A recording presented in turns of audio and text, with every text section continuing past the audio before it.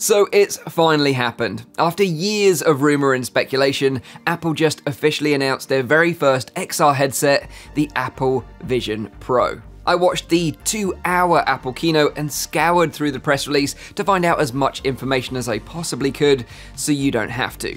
In this video, I'll be covering the specs, the price, the release date, and much more, but let's get started by answering a very important question. What the heck is the Apple Vision Pro?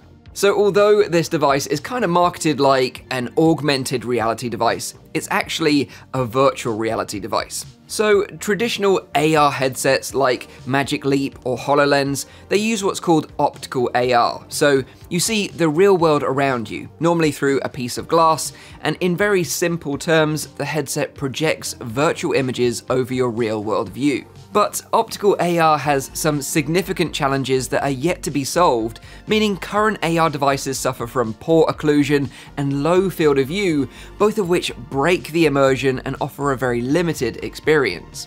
So, what Apple are doing with the Vision Pro is actually VR, but with extremely high quality pass through cameras. So essentially, you're looking at a screen inside the headset showing a video feed from the cameras located on the outside of the headset. This pass-through method is the same method used in the Quest Pro and the upcoming Quest 3, but the Vision Pro has much higher resolution displays and cameras. A really cool feature that they showed off during the keynote was the ability to use the digital crown at the top of the device to switch between pass-through mode and being completely immersed in a VR environment. Think of it like an AR VR switch. So quickly running through the absolutely insane headset specs, we have 23 million pixels across two micro OLED displays.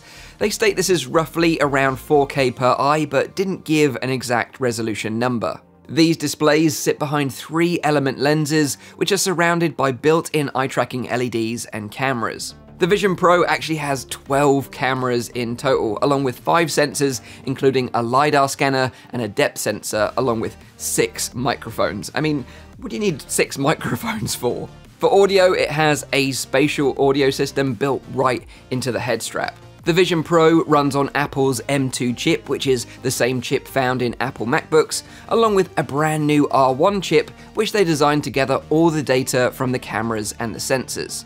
And this is something completely unique to Apple as they produce their own chips. Other companies like Meta, Pico, and HTC, they all rely on Qualcomm to produce their chips, like the popular Snapdragon XR2 chip found in most current gen VR headsets. The Vision Pro will run off an external battery pack, providing two hours worth of use on the go, or if you're at home, it can be used continuously when connected to a power source.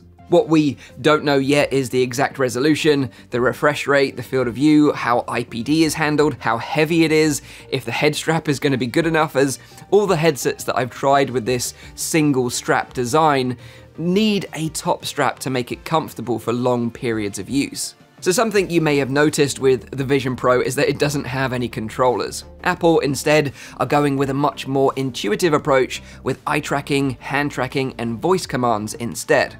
They demonstrated this by showing a user highlighting an app with their eyes alone, and then using a pinch gesture with their hand to select it. This means that the device won't really be an immersive gaming device like we have with other VR headsets like the Quest 2, which have fully tracked motion controllers. Of course, it will be able to play games, but it'll be likely much more casual style games using hand tracking and gesture inputs, or iPad games using a traditional gamepad controller instead.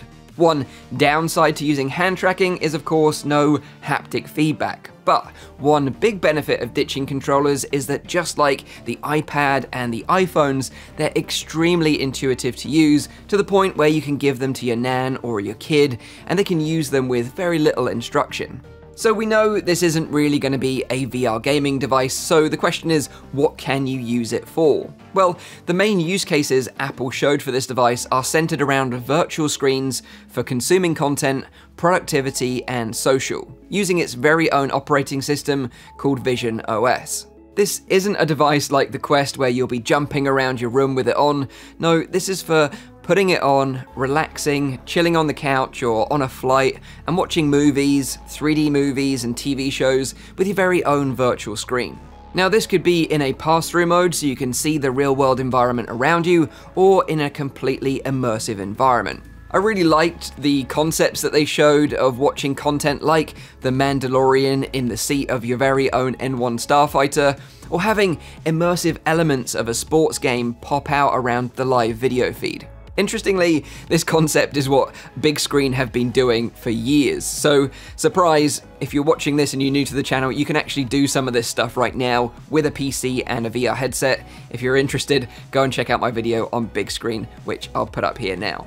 The next big use case, of course, is productivity. This headset is named Pro after all, and the Vision Pro, just like most of the Apple ecosystem, will seamlessly connect to other Apple devices. So it works right away with Apple keyboards and Apple trackpads, and also your Mac. The cool thing is, all you need to do is look at your Mac with the headset on, and it will automatically hand off the display to the Vision Pro, giving you a scalable 4K virtual monitor. And finally, we have social. And I don't mean social VR as we all know it with the likes of VR Chat. Apple being Apple, they've integrated the Vision Pro with FaceTime. What's completely wild about this is that you can take the headset off and scan your face with the 3D camera on the front to create a digital avatar of your real face. Kind of like a low quality version of what Meta are doing with codec avatars.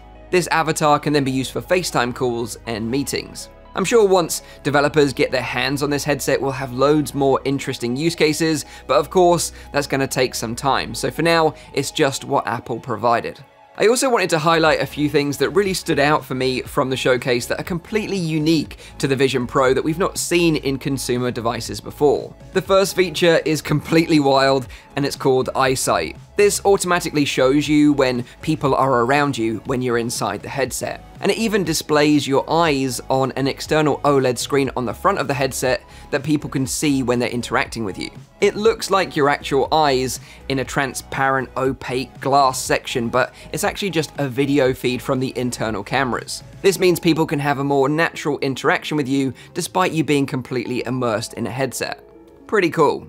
This next one kind of reminds me of a Black Mirror episode, if I'm honest, but essentially it allows you to capture 3D spatial memories. As the Vision Pro features Apple's first 3D camera on the front, like I said about scanning your own face for your own avatar, it also allows you to record and relive special moments with 3D depth and spatial audio. I mean, it's gonna look super strange you recording moments with this headset on. It's kinda creepy, but I do see the potential benefit here. And finally, we have Optic ID. To ensure that your device is completely secure, you can use your eye's unique iris pattern to securely log into your headset. Completely nuts. So this all sounds amazing, but this is where we all come crashing back down to earth because Apple Vision Pro will be releasing first in the US early next year, starting at an eye-watering 3,499 US dollars. That's an insane amount of money. The one cool thing is that you probably won't need to buy one to try it, as Apple state that they'll have demo units available in their stores after release, but just expect a big waiting list as I can imagine everyone is going to want to try it. So overall, I think the Vision Pro is probably one of the most interesting tech products I've seen in a long time. I mean, it looks like a product straight from the future. Of course, the price point is just completely insane, and it puts this product out of the reach of like 99.9% of people. But as we all know, with super expensive Apple products like those crazy wheels, there are hundreds of thousands, if not millions of people that will fork out the cash to buy one. I have to say, I do admire Apple's approach with the Vision Pro. Instead of creating an affordable device with compromises, they've created the very best headset they could possibly make with the technology available. If you want a cheaper headset or a gaming headset, there are plenty of options available on the market. You know, the upcoming Quest 3 looks pretty great at $500, but what Apple are offering is the very best of the best right now for virtual screens and productivity. It's a niche market for sure, but eventually this tech will become cheaper and more accessible to the masses as time goes on. However you feel about this product, a huge player like Apple throwing their hat into the ring in the XR industry is a big deal. And personally, I'm excited to see what developers can cook up with this thing without having controllers. I'll try my very best to get my hands on one and share my full opinions on the channel as soon as I possibly can. But in the meantime, if you enjoyed this quick little roundup video, please leave a like. Let me know what you all think in the comments down below. And as always, I'll see you all on the next one. Cheers.